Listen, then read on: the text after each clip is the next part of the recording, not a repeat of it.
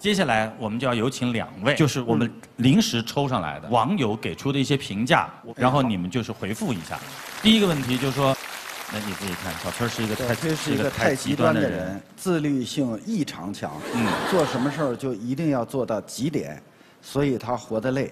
更重要的是，这样的人喜欢把责任往身上揽，就算那不是他的事儿，就算那不在他的领域，但是不否认小崔真的是个好人。这是他对你评价，你怎么看？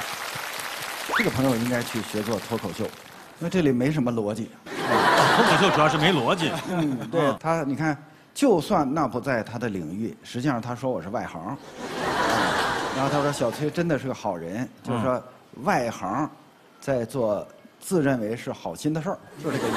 就是个好人，实际上就是骂我呢，这个我还不知道。啊 也不带怎么脏字儿，你看。看出来了。呸！早晚你也得卖方便面去。王老师，长得真像刘在石，刘在石是韩国版的《抛 Running 男》Man 里面的，哦超像的，是很像哎，也很像《植物大战僵尸》里的僵尸。这太过分，但太真实了。对不起啊，你真实的事情要艺术的告诉大家，你应该说哇，这太棒了，没有想到这是以您的原型来创造的，特别感动，终于见到僵尸的原型了。原型然后说，虽然我也是外貌协会的成员，看你这么幽默，发现长相真的不不重要啊，你怎么看这事儿？我觉得这位网友真应该买配副眼镜。嗯，就大部分人都觉得我长得像王力宏，是不是吧？对，对了，所以大部分人都应该配眼镜。那我就不买方便面了，我卖眼镜儿算了。这个时候我好好想过，嗯没有知识的人才在乎长相，That's right 嗯。对吧？所以不要再说我长得像金城武了，我很烦这喂件事情。喂喂，金城武啊。好来，他是汪洋里的一条船。等一下我们再看这个。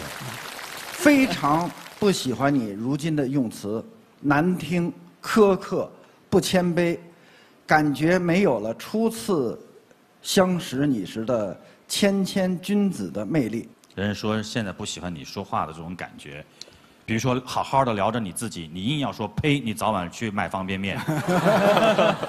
你看这说出了我们的心声吗？这不是？对啊，我知道这个人是谁哎呦，啊，啊，对，是我在大学时候谈的那个女朋友。哦哦，为什么一眼就看出是她来了？感觉也像啊。她当时觉得我长相也不好，然后也没有发展前途什么的啊。然后后来呢，她看我发展的特别好，她又向我送出玫瑰，嗯，我直接把玫瑰当凉菜吃了，啊，哦，这个刺儿没拔。没拔。哦，他现在是后悔，所以他用这种方式来表示他的后悔。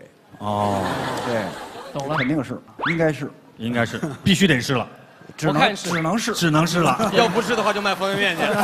我看也是。好，我们来看看啊，啊，说老师早点睡吧，不要太操劳了，有些事情随他去吧。就是大家知道我在网上跟他们论战是吧？嗯但是其实我们交不上手，嗯因为他们是晚上十二点之前骂我，我是夜里三点钟回骂。吵架还有时间差的。搭不到一块儿他没有办法，我只有那个时候才有时间啊。而且那个时候不管发一个什么微博哈，嗯你看底下的留言都是说。崔老师，你还不睡觉啊？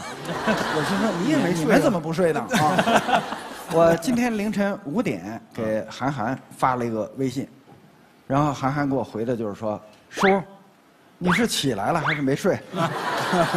实际上我还没睡呢。很多人都对您有一些这样或者是那样的评价。嗯，现在了，到这个阶段了，到这个年纪了，您自己怎么评价您自己？以前觉得自己相当好，就像你们用了很多夸我的词啊，但是我真正下来仔细想的时候，觉得前五十多岁是稀里糊涂活过来的，五十岁以后，从现在开始，才真正开始学着做人。哎呀我得等三十多年了。对，你还要等三十多年，那我们这等四十多年，那盼不到头了吗？这个啊。